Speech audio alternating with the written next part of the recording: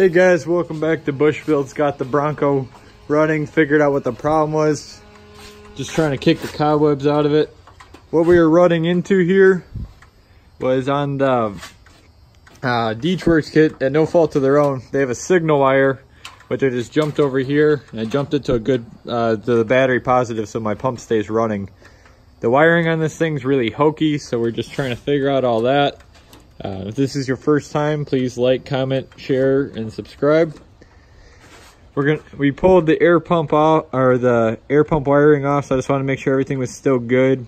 Um, noticed a couple little issues we got going on. Hey, we gotta clean all this up. Just want to show you. Uh, let's see here. Pulled this little baby jack out of the engine compartment. I don't know what this would have lifted up on the side of the road, but would not have been a fun day. So these are part parts that were in my engine bay. This is part of the air pump, or air electrical pump assembly. It's got some sort of um, baffle in there. This is just a bunch of air relays and where they send this stuff to. Uh, AC doesn't work in it anyways. Uh, I'm just trying to figure out what needs to go where. Pulled the air box off. Um, got a couple little things. We're just figuring everything out. Like I said, all this wiring needs to get cleaned up before we start plowing with it. I'd like to pull the EGR off before we start plowing. Doesn't really matter, it runs. We got a battery box coming for this, so the battery won't be sitting there. Like I said, I want to pull it, push the battery back in here, and then uh, move this uh, starter solenoid.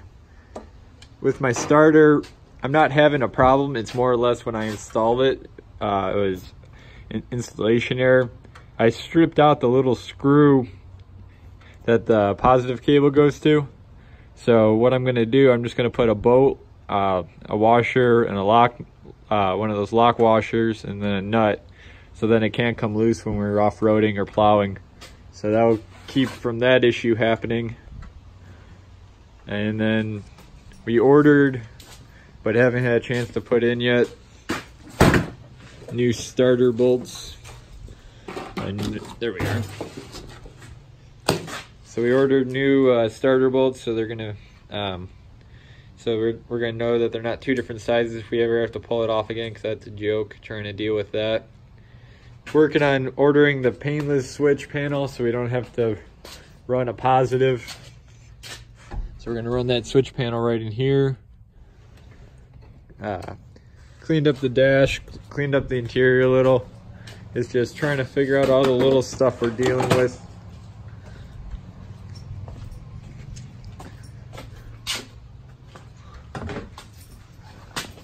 It's funny, you can have a hundred things wrong with your vehicle, but you do little things to keep you motivated. We actually used Chemical Guys products and cleaned up the dash. So the dash is all nice right now. Like I said, we're gonna put the switch panel in there, Still has a key for it. Um, the top piece of the dash is on top of the roof. We're just trying to pull some of the old wiring out, uh, some of the old junk. Figuring out this back window back here. So we have that piece pulled down, uh, trying to get that window back up before winter. Just, you know, joys of owning, owning old vehicles. Eventually, like I said, I gotta get new doors. My doors are trashed, and this passenger door doesn't open from the outside. Might be something simple. Just haven't had time to mess with it, trying to get the thing running. Uh, want to show you a couple cool things that you can do with a power probe real quick while I have you.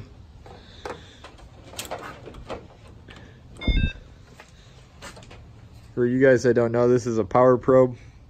It's got the ability to send positive or negative signals. And then you also have a negative lead or a ground lead so you can send power and test like lights and stuff. So in here, we were having headlight issues and I figured out that was a ground issue, but basically we put a ground to the light and the light turns on. So ground and positive, ground and power light turns on. You can do that with a couple different things. Do, let's see here. So if you ground this, how do we do this last time?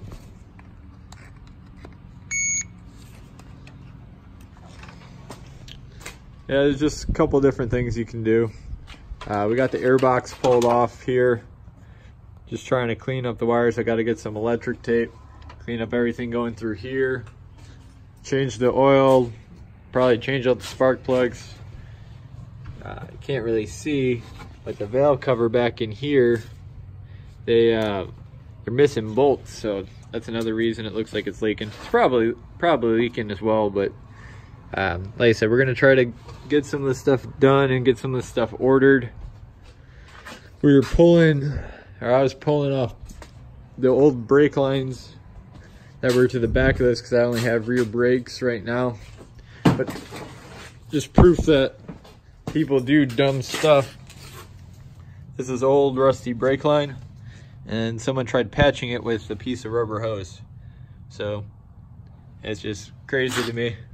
I said, this is more of my beautiful door, my body and my truck. We were messing around with some of the undercoating. Uh, didn't really work the way I wanted to. I didn't really clean it up all that well.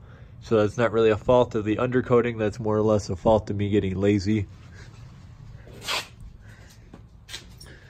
I'm glad that when we tested the wiring for my fuel pump, it wasn't a uh, it wasn't a computer issue because this is a computer controlled truck.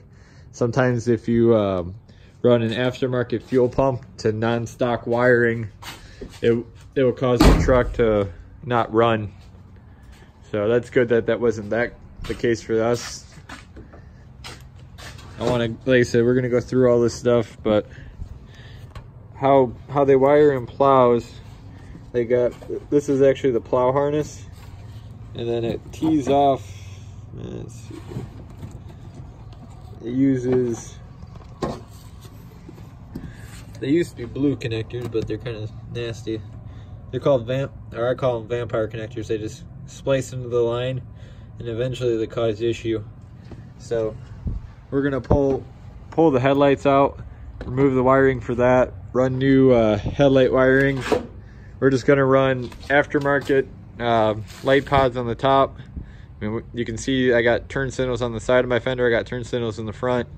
All my turn signals do work. Uh, let's see here. Trying to remember what side. I believe the headlights don't work at all.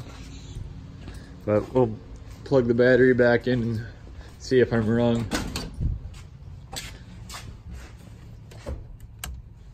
Like so we got four ways headlights.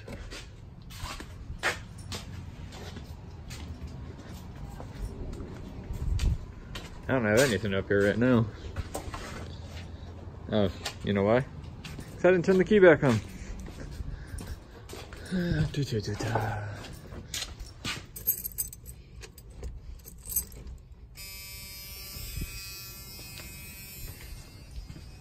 So we got the lights on, tail lights, license plate light.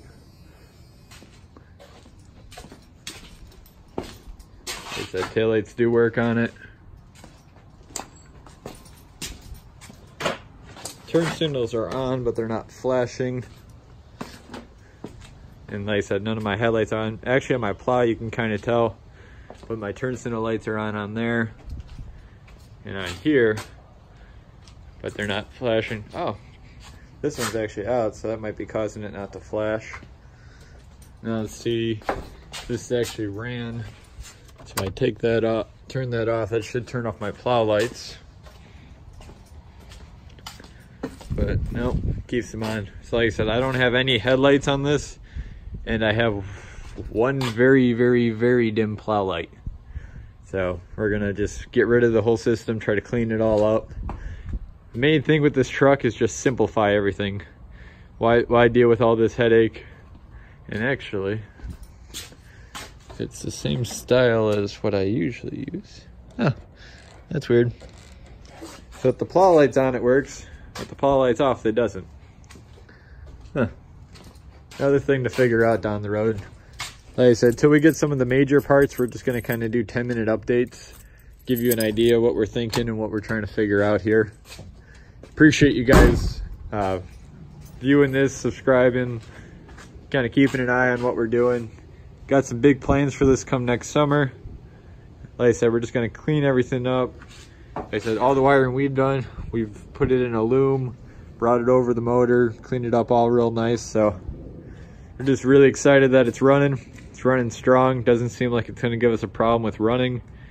Um, like I said, figure out the lights. That's little stuff. We'll deal with it. We'll get past it. Thanks again. Like I said, this is Jeremy with Busch Builds. Like, uh, like, subscribe, comment, and uh, have a great day. Thanks for watching.